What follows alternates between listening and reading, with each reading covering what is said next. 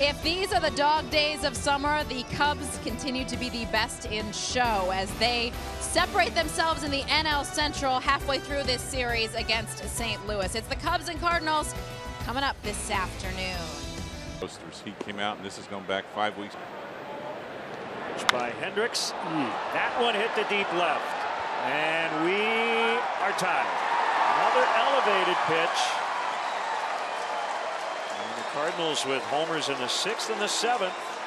We're even. Uh, Gyorko, a very dangerous presence down near the bottom of the uh, Cardinal batting order, as is the next guy, Randall Grichuk. It's home run number 17 for Gyorko this year. The long ball has not been an issue for Kyle. He had allowed just 10 coming into the start, but just a couple of wayward changeups. And he's paid the price for them.